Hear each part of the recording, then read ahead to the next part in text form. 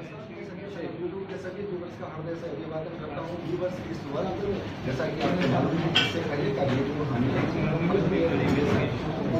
साहब का लिया था पर अब जिस कार्य के लिए हम यहाँ पर बैठे हैं यानी रक्तदान तो वहाँ पर डॉक्टर भी जुड़ता है डॉक्टर के बिना तो सारी बातें फिर अधूरी होती है क्योंकि रक्त लेने का काम और सही जगह तक रक्त पहुँचाने का काम दोनों काम डॉक्टर के अधीन होते हैं। इस वक्त आप जिस चेहरे को देख रहे हैं, हमारी नारी शक्ति, जिनका नाम है डॉक्टर गोल्डी सागर शर्मा। डॉक्टर हैं, यानी चिकित्सा के क्षेत्र में है और सीमा सुरक्षा बल में है। आप समझ गए होंगे कि इनका काम क्या है। इनका काम साफ़ है कि हमारे जवानों को जब जब इनकी आवश्यकता पड़ती है, शरीर के लिए, शरीर में आरोग्य प्रदान करने के लिए, उस वक्त डॉक्टर गोल्डी जी का योगदान होता है। डॉक्टर गोल्डी जी हमसे जुड़ने के लिए आपका बहुत बहुत स्वागत।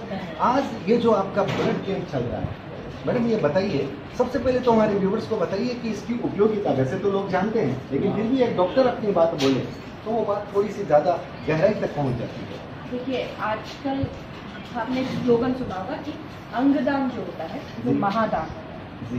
जो ब्लड है वो उसी अंगदान का एक पार्ट है जो बहुत पहले से चला आ रहा है। जी जी। खून एक ऐसी चीज़ है जो आपके शरीर में है। ना इसको खरीदा जा सकता है और ना बेचा जा सकता है अगर मैं एथिकल मतलब हाँ हाँ मैं समझ तौर पे एथिकल तरीके से। जी। लेकिन आपका एक यूनिट खून किसी मरते हुए व्यक्ति की ज़िंदगी बचा सकता है। किसी ब्लड कैंसर वाले बच्चे की को ज़िंदगी थोड़ी सी बढ़ा सकता है। जी। या ये जो है एक तरह से आप किसी व्यक्ति को भगवान बन के जीवन। आयु और जीवन प्रदान कर रहे हैं। बिल्कुल। तो रक्तदान जो है वो एक महादान माना जाता है।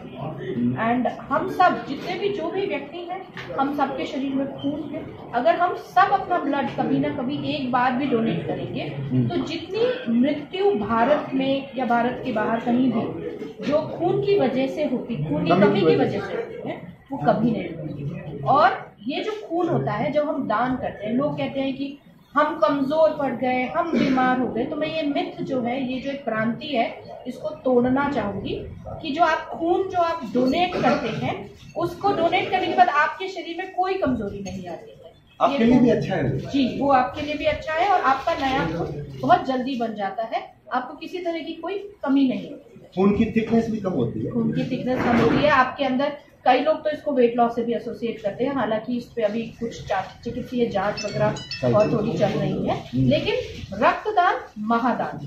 तो रक्तदान हम सबको करना चाहिए और हमें अपने आप से प्रण करना चाहिए कि हम जीवन में रक्तदान ज़रूर करें। ये था डॉक्टर गोल्डी जी का संदेश। लेकिन अब हम देखेंगे कि प्रैक्टिकल रूप से यहाँ पर क्या हो रहा है किस तरह से हमारे बीएसएफ के जवान अफसर यहाँ पर रक्तदान कर रहे हैं और वो रक्त सिर्फ़ इनके लिए काम नहीं आएगा ये पब्लिक के लिए भी जाएगा। यानी पब्लिक हिंदुस्तान के लोग जिनको आवश्यकता हो वो भी हमारे जवानों के खून से बहुत जल्दी तंदुरुस्ती महसूस कर सकते हैं। डॉक्टर गोल्डी जी थोड़ा सा दृश्य हमें दिखाइए। हमें बताइए कि आपके यहाँ क्या क्या किस रूप में हो रहा है? आप देख रहे हैं कि हमारे जवान और यहाँ पर हैं। हाँ जी ये हमारा सेक्टर हॉस्पिटल है आलम बाज़ार में हम स्थित है। जी। यहाँ पे हमारे जवान। जो कि स्वेच्छा से। हम्म। पहली चीज़ मैं जो बताना चाहूँगी कि ये स्वैच्छिक है इसमें हमने किसी को प्रेशराइज नहीं किया है कि आप ब्लड देने आइए। कोई नियम नहीं लगाया। कोई नियम नहीं है। हम्म। ये सारे जवान जितने भी हैं ये सब अपनी इच्छा से ब्लड डोनेट करने आए हैं। क्यों? क्योंकि हम अपनी सोसाइटी और सिविक पॉपुलेशन की तरफ़ जो हमारा एक और अधिकार हमारा एक कर्तव्य। है। वो हम पूरा करना चाहते हैं। हमारे सारे जवान बॉर्डर पे तो आपकी रक्षा करते ही हैं हम्म। लेकिन खून या रक्तदान देके हाँ, वो हम्म। अपनी सोसाइटी में अगर किसी को ज़रूरत है उसकी मदद करना चाहते हैं। इनफैक्ट हमारे डॉक्टर साहब हैं डॉक्टर थोमटे सर जी जो। जी कि इंचार्ज है इस हॉस्पिटल के वो भी खुद ब्लड डोनेट कर रहे हैं ये बड़ी मिसाल की बात है सर बड़ी प्रेरणा की बात है डॉक्टर खुद कर रहे हैं। इस बात को बता रहा है कि ब्लड डोनेट करने से शरीर में कहीं हानि कोई नहीं होती कमज़ोरी नहीं ये डॉक्टर खुद बता रहे हैं। जी बिल्कुल। जी जी जी। और ये सारे जवान जो है ये सीमा हमारे सीमा पे तैनात थे और आज सुबह ही ये आए हैं अपना को रक्तदान करने। करने के लिए। जी जी। ये जो है यहाँ पे हम अभी रक्तदान कर रहे हैं। उससे पहले जो पूरी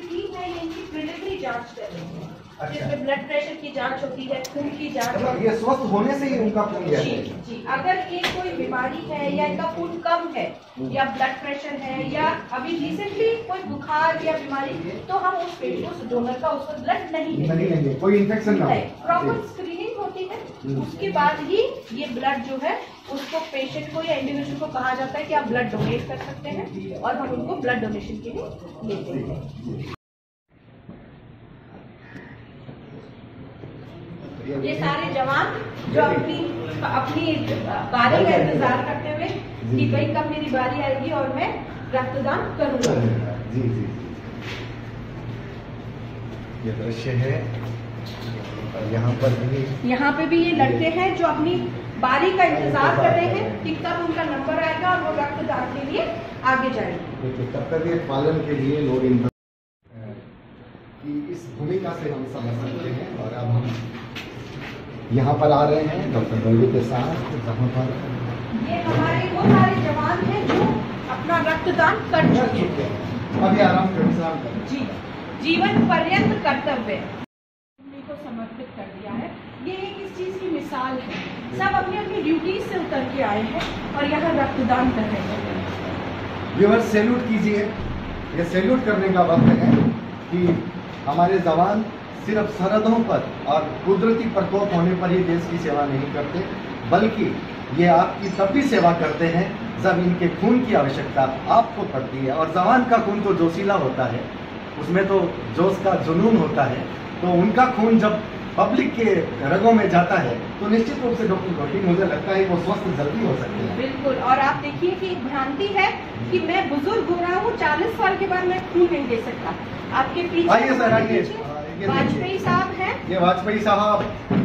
ये बावन साल के हैं और ये भी अपना रक्तदान आप लोगों के लिए और हमारी आम जनता के लिए अभी कर कर आए हैं। आए हैं। जी।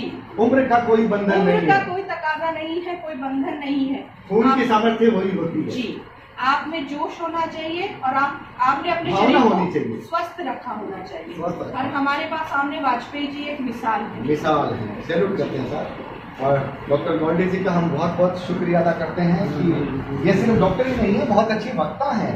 इन्होंने हर बात को बहुत अच्छे से हम समझाया है आप तक पहुँचाया है। इसके लिए मैं इनका शुक्रिया अदा करता हूँ और जो हमारे जवान हैं उनको सैल्यूट करता हूँ कि आप लोगों ने यहाँ पर आकर के पब्लिक के लिए जो अपना कर्तव्य निभाया है उसके लिए हम आपके हृदय से आभारी हैं।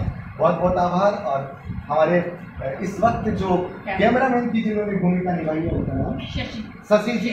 का मैं विशेष रूप से आभार ज्ञापित करता हूँ। उन्होंने मेरे हाथ फरी कर दिए। उन्होंने मेरा मेरा दायित्व उन्होंने दिया ताकि मैं आप तक खुलकर अपनी बात को सही रूप से बता सका, पहुँचा सका। बहुत बहुत आभार बहुत बहुत नमस्कार। जय हिंद। जय